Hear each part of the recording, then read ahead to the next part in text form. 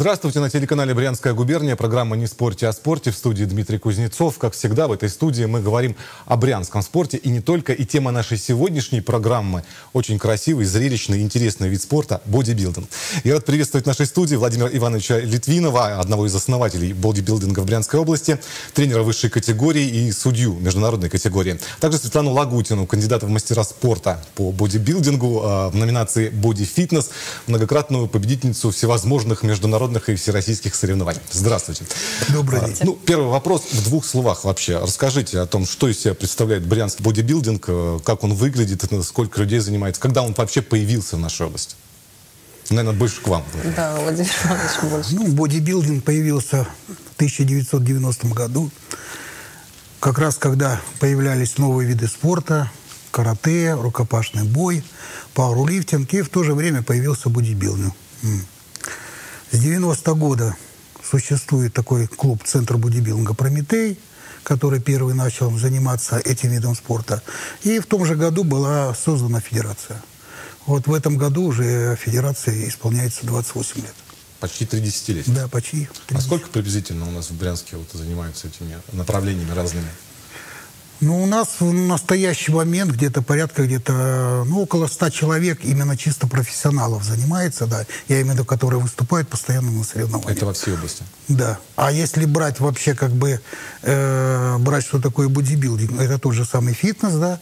То есть у нас около 60 фитнес-клубов, поэтому занимается очень-очень много людей.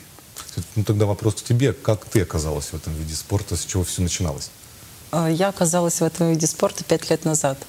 Э, пришла я просто заниматься для себя. Занималась, занималась. Через неделю буквально Владимир Иванович подходит и говорит, Свет, иди сюда. Я говорю, я? Он говорит, да, ты иди сюда. Я подошла, говорю, «Э, что такое? Он говорит, не хочешь ли ты подготовиться на осенние соревнования? Сейчас мы съездим на весенний кубок, а после кубка начнем готовиться к осени. Я говорю, хочу, конечно. Ну, так закрутилась, закрутилась, закрутилась. И все. Но ты выступаешь в номинации бодифитнес, да? да? Вот, да если да. так э, простому обывателю объяснить, в чем разница бодибилдинга, бодифитнеса, фитнес-бикини, я знаю, а, есть. Э, бодифитнес – это что-то между бодибилдингом и фитнес-бикини. То есть э, если в бодибилдинге в женском там должны быть объемы, качество сумасшедшее, то в бодифитнесе уже выходят девочки на каблуках, в красивых купальниках, э, не такие сухие, не такие объемные. То есть, э, ну, именно жен, женская номинация. То есть, как появился, вначале было, было всего две номинации. Мужской бодибилдинг и женский. И вначале были миниатюрные женщины, а потом начали гнаться за объемами. И, естественно, многим женщинам перестало это нравиться. И Международная федерация, чтобы привлечь новых девчонок к соревнованиям, да, они ввели новую номинацию. Эта номинация называлась «Фитнес», то есть более миниатюрная, но там нужно было выполнять произвольную программу, а произвольная программа была сложная, и в основном начинали выигрывать те, у кого была э, база гимнастики или акробатики. То есть уже не мышцы главное было, а... Да, ну там два раунда было. Там и мышцы были, да, но мышцы более миниатюрные, да, и туда начали стремиться. Но опять же, стали те, у кого не было базовой программы гимнастики или акробатики, они начали проигрывать. Естественно, они перестали тоже вот, выступать на соревнованиях. Международная федерация опять пошла дальше, да, и вот приняли решение ввести новую номинацию, которая называлась боди-фитнес, да, в которой не надо было произвольную программу делать, да, на уровне акробатики или гимнастики, да. И вот тогда это стало самое многочисленное, да. Ну, могу задать вот риторический вопрос, так что это? Это вид спорта или все-таки это больше шоу? Потому что нет. А... Это вид спорта. Это вид спорта, Это да. вид спорта, за который присваивают спортивные звания. Mm. Если фитнес-бикини это уже больше как конкурс, э, конкурс красоты, можно сказать, спортивной красоты, то боди-фитнес, бодибилдинг женский – это уже вид спорта. Но все-таки есть там определен, определенные такие... Элементы шоу присутствуют. Конечно. Да. Вот. Ну, в принципе, сейчас и в других видах спорта начинают проводить соревнования, да, какие-то элементы шоу присутствуют. Точно так же и здесь, да. Но это в первую очередь, это спорт. Ну, если мы заговорили о шоу, я сейчас предлагаю один ролик посмотреть. Я сегодня, готовясь к эфиру, нашел у вас на, на сайте Федерации очень интересный э, такой клип, скажем так. И чуть потом поподробнее о нем поговорим. Давайте посмотрим.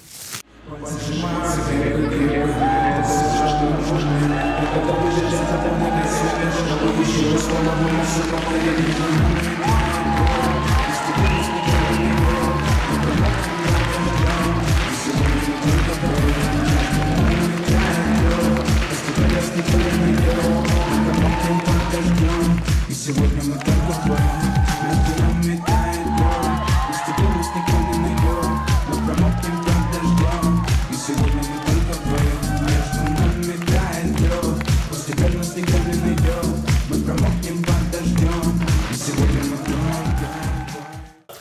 Вижу, говорю, что даже у вас вызвало улыбку. Я так понимаю, что креатив приветствуется в вашем виде спорта. Ну, конечно. Вообще, как действующий спортсмен, кстати, вот, как ты готовишься к выступлениям, придумываешь программу свою показательную, какие А, мысли, у нас, где, где э, берешь вдохновение? У нас дефиле проводится. Каждая участница выходит и представляет себя. Представляет это э, в красивых позах, то есть э, подача себя. Ну как, я смотрю видео у э, девочек, которые выступают э, на более высоком уровне. Э, Что-то беру у них, что-то придумываю сама. Что я в этот момент чувствую, когда выхожу на сцену, я просто отключаюсь. Я отключаюсь и получаю удовольствие от выхода на сцену. Это какая-то хо- хореография, я так понимаю, да? Ну, конечно, пластичность, все это приветствуется. Там есть э, определенные каноны, которые ты должен выполнить. Набор обязательных элементов, да, да? да, ты должен выйти, да, ты стать должен в правильную позу, э, э, выполнить несколько элементов, да. Ну, то есть обязательно, обязательно программа, которая выполняется согласно международных правил. А какие критерии оценки? Кто это судит? Насколько это спорта? Ну, я как судья международной категории, да, я могу сказать. Судят, судейство очень простое. Судят 9 судей. И каждый судья, каждый судья выставляет спортсмена на определенное место. Потом подсчитывается специальная программа, две нижних оценки убирается и две верхних оценки убирается. Остается пять оценок. Кто набирает минимальное количество баллов, тот и побеждает. Но это все-таки человеческий фактор, да? Это Ну, конечно, это судья. специалиста и Это судья, да, это ставит, да. Поэтому и сделали э, 9 судей, да, вот среднее арифметическое, и получается, что как бы э, человек попадает на то место, на котором он должен быть. в среднем сколько должен заниматься спортсмен для того, чтобы вот, э, выглядеть как девушки, которые на экране у нас, и, и ребята там? Сколько нужно времени для того, чтобы подготовиться вот, э, к первому выступлению? Каждому Ты сказал, да, полгода, да? Ну, грубо Нет. говоря. Нет, ну каждому по-разному. А, Это все зависит от физиологии, от генетики, а, от самой подготовки, от тренировочного процесса, от режима э, в целом. Ну, кому-то достаточно полгода подготовиться с нуля, кому-то нужно э, 2-3 года. Здесь уже определенные цифры нельзя назвать. Ну, как тренер, через сколько вы выпустили бы спортсмена? Ну, вообще, если говорить профессиональным языком, то за полгода, конечно, естественно, нельзя подготовиться. я тоже почему-то Да. не верю. Если бы это было так реально, то это был бы не спорт, правильно, да? Можно подготовиться, можно подготовиться, если, допустим, образом говоря, вот 10 лет прозанимался акробатикой. Естественно, обладая фигурой, можно в течение ну, не полугода, года, года, можно набрать какую-то определенную форму. Да. Если говорить о уровне чемпионата России, ну, как и в любом виде спорта, да, где-то года 3-4 надо оттренироваться, чтобы понять свой организм, куда его двигать, да. И после 3-4 лет только начинают результаты появляться. Ну, такой вопрос задам, который сейчас на слуху, и, наверное, ну, многие телезрители тоже думают, знают, что в вашем виде спорта это актуальная проблема, это допинг, да? Допинг, препараты специальные, а насколько это вообще вот серьезно сейчас, насколько это используется у вас? Ну, мы стараемся не использовать. То есть некоторые люди э, путают э, анаболические стероиды и спортивное питание, да. Вот. Спортивные добавки, да, там креатин, аминокислоты, да. То есть это все при, этот, э, присутствует в тренировочном процессе, потому что большие нагрузки, да. Вот. А анаболические стероиды. Сейчас тем более, что везде допинг-контроли, да, и любой самый маленький анаболический стероид держится в организме где-то полтора-два года. Поэтому смысла особенно нету принимать. Ну, у вас Свет, никогда не было мысли попробовать ускорить процесс? Нет, лучше потихоньку, потихоньку, потихоньку. Вот, кстати, вот как профессионалы, э, если предостеречь людей, которые занимают, начинают заниматься вот, бодибилдингом, э, бодифитнесом, не знаю, э, наверное, есть какие-то стандартные ошибки, которые приходят в зал, там, не в памяти начинают все пить, все качать. Вот есть? Да, есть. Да. Конечно. Вот и- если им сказать, чего ни, ни в коем случае нельзя делать для, для А того, есть- чтобы не убить собственный организм и собственную карьеру. А есть э, определенный процент людей, да, которые сидят в интернете, вот, и они прислушиваются только интернета. А, И если, допустим, образно говоря, лет 10-15 назад, да, люди, которые приходили, там, допустим, Прометей, да, то есть им говорил какие-то выполнять упражнения, да, как правильно, технику. На первом же месте что? Техника. Не будешь правильно выполнять технику, и результата не будет. Сейчас очень много сидит в интернете вот, и вот смотрит разные видеоролики, вот, и получается, что... Но их немного, немного, но присутствуют, да которым очень тяжело что-то доказать, да. А так основная масса, естественно, конечно, да. Вот. Они обучаемые, вот, они приходят, вот, им показываешь, им, им объясняешь, почему надо делать так, а почему не так. Да, и они все выполняют, да. Насколько Ну, вообще возможно без помощи тренера добиться вот результатов? Вот, действительно, если там на диване рассуждать и смотреть ролики. Вообще реально без тренера это сделать? Нет, добиться результата без тренера э, невозможно. Просто сейчас же я говорю, что это фитнес-индустрия, да, вот, очень много людей занимается. И поэтому, поэтому они читают, они приходят, они сами что-то они выполняют, да. Даже смотришь иногда такие ролики в интернете комичные, да, там можно просто падать от смеха. Вот. А, человек, а человек считает, что он правильно делает, да. Ну, хотя вы вспомните этого человека э, с базуками Да, вместо да, рук. да, да, ну, да. это уже, это, это большое отклонение, да, это, это очень ненормально. Это да. уже лечится. Хорошо, такой вопрос. Э, ты сейчас недавно приехала с большого турнира Да, с в Беларуси. турнира. В двух словах вообще, э, что было, насколько серьезный турнир был, насколько серьезная эта победа твоя? Да, я ездила на Iron Leon Cup. Меня туда приглашают уже третий год подряд. А, Стала я второй в этом году. А, Уровень гораздо выше был, чем предыдущие годы, в которые я ездила. И количество участников тоже с каждым годом у них увеличивается, увеличивается. И самоорганизация очень здоровская. То есть я не расстроена, что я стала второй. Просто учла свои ошибки, и с Владимиром Ивановичем будем над ними работать. Это достижение для тебя. да? Это достижение, да. Ну, как бы вы оценили ваше выступление? Ну, я могу сказать, что даже иногда второе место, оно выше э, первого, да. Почему? Потому что форма, правильно Света говорит, уровень соревнований растет, и уровень спортсменов растет, да. И если, допустим, да, вот первый, первый турнир был не такого сильного значения, да, сейчас более, вот.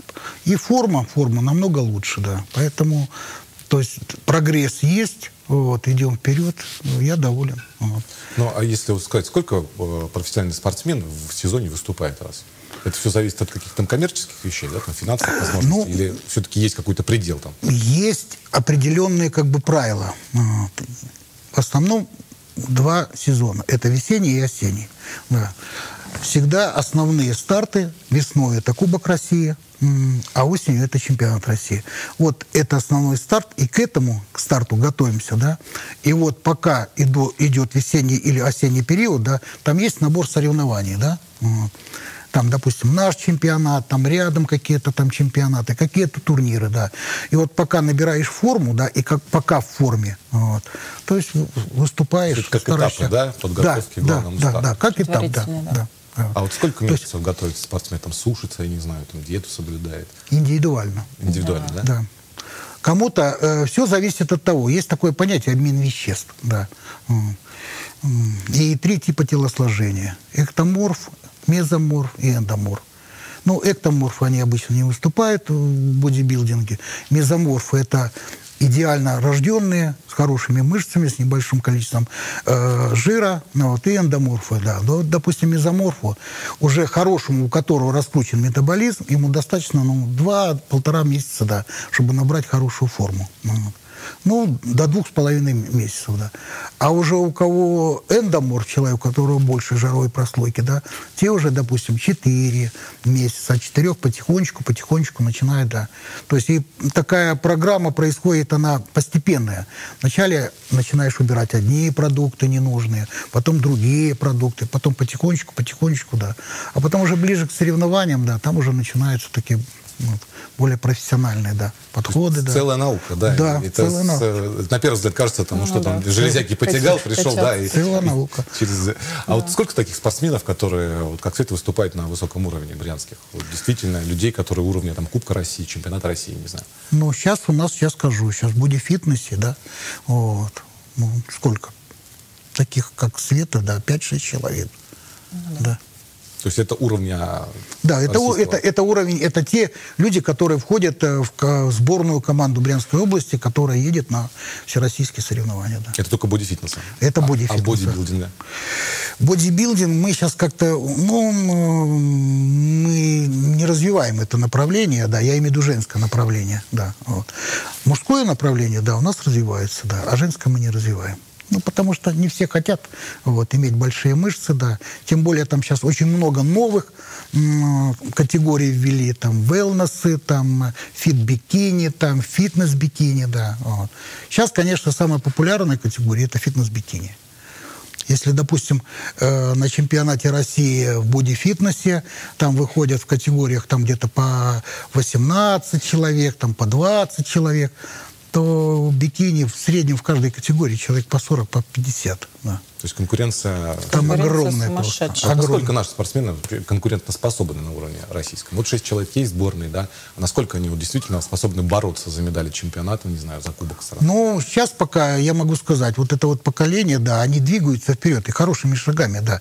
То есть пока задача, задача входит, да, в шестерку входить. То есть шестерка это дает звание мастер спорта России. Да. То есть это хороший, это хороший результат попасть, да. Ну, я так думаю, что через год, через два девчонки начнут попадать в тройку, да. То есть у нас для этого все есть, да. Идеальный возраст для этого вида спорта, когда рассвет наступает у спортсмена.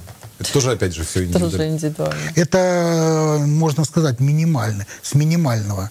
Ну, может быть, где-то 21-22 начинает уже показывать хорошее. А там туда есть там... э, Предела просто нет. Да. верхнего. Ну, скоротечен, э, скоротечна карьера. Нет, нет. Это все зависит, все зависит от э, человека, да. Вот. Некоторые выступают э, и по 10, и по 15 лет, да. А некоторые выступают, год-два выступили, и все, да. Вот. Ну, Вот очень многие опасаются, что после завершения карьеры, грубо говоря, после того, как перестаешь заниматься, что происходит с мышцами, как Нет, они ну себя как? ведут? Нормально и оста- и остаются? Или все-таки есть какие-то изменения? Нет, ну, конечно же, есть изменения.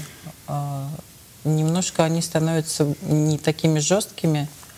Более становишься, если девушка, то она становится более женственной, то есть без этих всех э, мышц, пресса. Нет, Ну, я... Обычное женское тело. Но тоже это зависит от э, генетики. Если у кого-то есть предрасположенность э, к набору веса, то да, они просто опадут, если не заниматься долгое время. я немножко-немножко по-другому выражусь. Вот. Когда перестают заниматься, упадут мышцы или не упадут? Конечно, упадут. Вот просто приведем другой пример. Вот человек разгружает вагоны с мешками, занимается физической работой. Правильно, да? Вот. То есть он выглядит подтянутым, физически крепким, да, у него мышцы выделяются. Потом он бросил это дело. Решил просто там на станке на каком-то, да, нажимает кнопку. Нажимает кнопку, он перестает заниматься физической работой. Как только он перестает физической работой заниматься, да, мышцы, мышцы будут, по-любому они будут дряхлеть, потому что нету стимула. Поэтому, поэтому это даже не в бодибилдинге, это в любом виде спорта. Как только человек перестает тренироваться, да, он сразу начинает терять форму, да. Но Форма теряется в зависимости от тренированности. Чем человек тренированней, да, тем больше она будет теряться. То есть, если, допустим, мало тренировался человек, да, то есть, допустим, через год, через два можно его не узнать. А если, допустим, человек потренировался где-то 10-15 лет, да, то где-то лет так через 15, да, и начнет это все ну, проявляться. Что мышцы дряхлеют, да, а до этого, да, они будут в тонусе. Ладно, огромное спасибо, что рассказали вот о всех подробностях этого вида спорта. Теперь о насущном, о том, что впереди. Я знаю, что у вас большое мероприятие э, будет проходить в Брянске. Так, в двух словах вообще, что это, где это и что увидят брянские поклонники бодибилдинга? Это будет 15 апреля проходить открытый кубок Брянской области по бодибилдингу и бодифитнесу. Будут у нас номинации. У нас мы сейчас в последнее время мы очень хорошо развиваем детский фитнес. Есть такое ну, вот, направление, да. У нас очень девочки, кстати, девочки у нас очень хорошие, да. Вот, вот я так думаю, сейчас две должны попасть на чемпионат мира на детский, который будет проходить летом, да. Вот. У нас почему? У нас хорошая школа акробатики, вот. и поэтому и вот хорошие акробатки, да, девочки, да, и они хорошими, хорошими становятся спортсменками. Вот. Детский фитнес. Потом у нас будет боди-фитнес, у нас фитнес-бикини, это все женские категории, да. И будет у нас мужские категории, это бодибилдинг, классический бодибилдинг, есть такая номинация, да, и пляжный бодибилдинг. Вот, То есть несколько сразу видов программ. да, сразу несколько видов программы. Сколько приблизительно участников, откуда будут гости? Да, будут, да. Вот. Ну, где-то, сейчас уже где-то человек 80 уже заявилось, да. Вот. Э, будут с Белоруссии, опять же, вот наши друзья с Могилева, они к нам приезжают. Потом с Курска будут, с Белгорода будут, с Калуги, вот, с Орла. Ну, естественно, Брянск, да. С Москвы будут, да. Ну, так, городов. То есть представители. Да, да, да. Главный вопрос, где и когда. Это произойдет э, в ДК железнодорожников начало в 15.00. Я уже сказал, 15, 15 апреля. апреля. Да. Ну, надеюсь, там увидимся. А, Напомню, что у нас в гостях сегодня были Владимир Иванович Литвинов, один из основателей бодибилдинга в Брянской области, и Светлана Лагутина, кандидат в мастера спорта. Большое вам спасибо. Ну а вам, уважаемые телезрители, хотелось бы напомнить, что о спорте не нужно спорить, спортом нужно заниматься. До новых встреч.